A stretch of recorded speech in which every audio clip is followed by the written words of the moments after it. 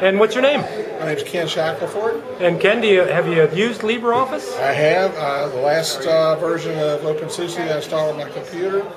Had that on there, and actually, it's a lot better than the old vanilla OpenOffice. So I'm happy with it. It does everything I need, and uh, don't use any other Office product now except this. Okay.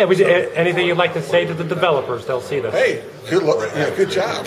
That's all I really can say. I mean, that's an excellent job. It's it's professional software.